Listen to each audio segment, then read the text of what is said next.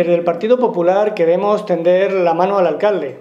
Queremos tender la mano al alcalde, al equipo de gobierno, para aprobar unos presupuestos municipales que en estos momentos son más importantes que nunca. Debemos tener en cuenta que Coslada lleva con presupuesto prorrogado desde el año 2017.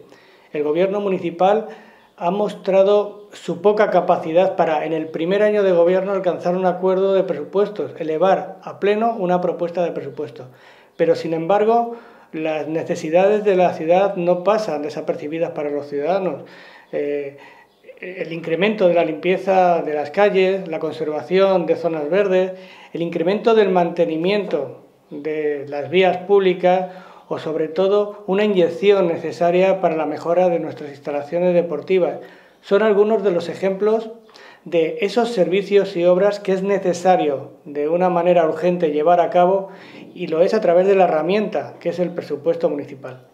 Por ese motivo el Partido Popular quiere tender la mano al alcalde, pero no podemos dejar eh, de poner sobre la mesa la necesidad de revertir el incremento de salarios que se llevó a cabo al inicio de legislatura y sobre todo eh, minimizar la presión fiscal que están sufriendo los ciudadanos de Coslada. Para nosotros esas son condiciones irrenunciables para que el Partido Popular, como está haciendo, eh, muestre su respaldo a las cuentas públicas del Ayuntamiento de Coslada.